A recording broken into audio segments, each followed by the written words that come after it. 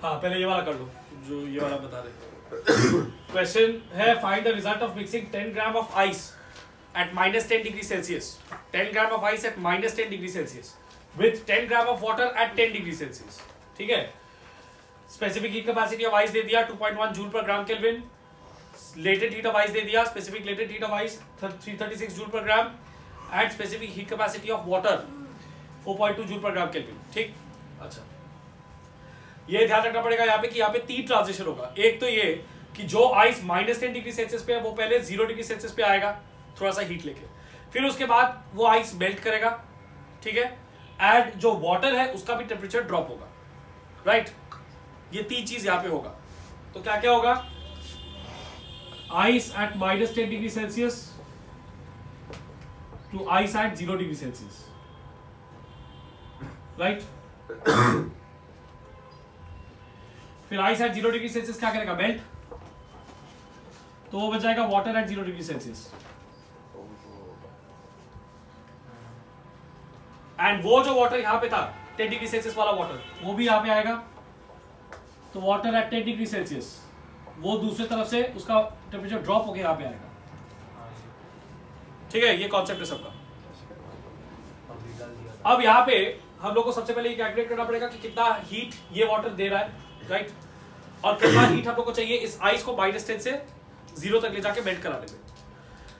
पहला बात ये है कि ये आइस जो माइनस टेन डिग्री सेल्सियस पे इसको पहले ज़ीरो तक ले जाना पड़ेगा उसमें नॉर्मल हीट ऑब्जॉर्प्शन होगा तो वहाँ पे हम लोग क्या फॉर्मूला यूज़ करेंगे? एमसी डेल्टा टी राइट फिर उसके बाद ice at zero to water at zero क्या फॉर्मूला यूज़ करेंगे? ML ten gram of ice है। और तुम लोग का जो हीट कैपेसिटी है सब जूल पर ग्राम में दिया हुआ है।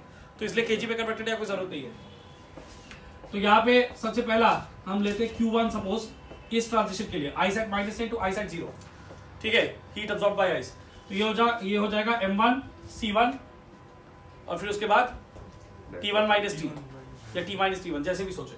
M1 क्या है? Mass of ice 10 gram specific heat capacity of ice 2.1 temperature किस तरह से चेंज हो रहा है? टेम्परेचर चेंज हो रहा है ज़ीरो माइनस माइनस टेन क्योंकि माइनस टेन से ज़ीरो तक गया तो zero minus minus ten right minus ten छोटा है ज़ीरो बड़ा है।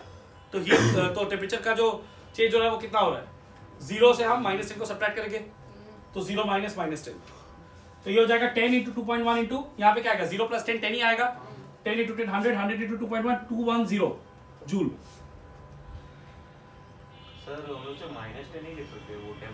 minus क्यों लिखेंगे? टेम्परेचर टेम्परेचर का जब तुमको यहाँ पे डिफरेंस निकाला होगा तो हमेशा larger temperature minus smaller temperature करेगा। लार्जर टेम्परेचर क्या है? ज़ीरो और स्मॉलर टेम्परेचर है माइनस टेन तो ज़ीरो माइनस माइनस टेन ये डेल्टा टी हमेशा पॉजिटिव में आएगा नहीं। टेम्परेचर चेंज नेगेटिव में नहीं लेंगे पॉजिटिव में लेंगे। हमेशा larger temperature minus smaller temperature उसके बाद Q2 सपोज़ ये है तो Q2 में हम क्या फॉर्मूला यूज़ करेंगे? Ml ठीक है? यहाँ पे हमने यूज़ किया mc डेल्टा टी यहाँ पे यूज़ करके ml मास है 10 ग्राम्स वही आइस का। और अब वो वाटर में बदलेगा। तो वाटर में बदलने के लिए जो हम लोग यूज़ करेंगे वो है latent heat of ice 336 joule per gram right तो ये हो जाएगा 3360 जूल ये दोनों का टोटल करके देखो कितना आ रहा है? Q1 प्लस Q2 3360 हाँ 3360 प्लस 210 ये आएगा 3570 जूल इतना हीट रिक्वायर्ड है ये सारा आइस को माइनस टेन से ज़ीरो तक ले जाके मेल्ट कराने में। वाटर एट यानी कि माइनस टेन से ज़ीरो तक का आइस और फिर ice at zero to water at zero तो अल्टीमेट कंक्लूजन होगा कि ये आइस एट माइनस टेन से ज़ीरो डिग्री सेल्सियस का वाटर बन जाएगा राइट तो इतना सारा हीट जो है वो तो यहाँ से आना चाहिए ना ये हीट का सोर्स है। तो ये ये कितना हीट दे सकते हैं पहले वो देखें।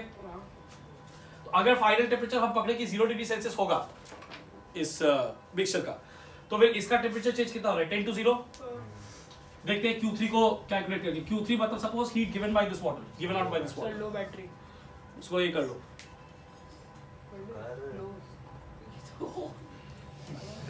ओ, उसका कुछ हो नहीं सकता।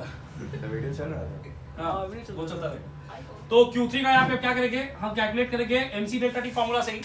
ये वाटर का हीट गिवन आउट तो ये हो जाएगा अगेन 10 ग्राम इसका मास है।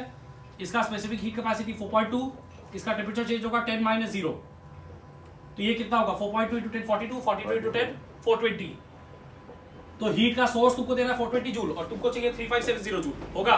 नहीं। तो इसका मतलब कि ये जो पूरा आइस है वो पूरा का पूरा आइस मेल्ट नहीं करेगा उतना एनर्जी नहीं है हम लोग के पास। ठीक है?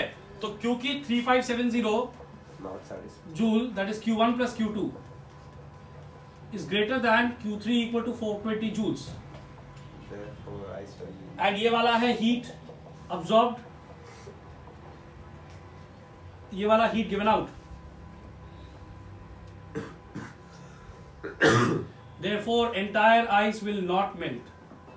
पहले तो ये कंक्लूजन हम लोग यहाँ पे निकाल लिया पूरा आइस मेल्ट नहीं करेगा।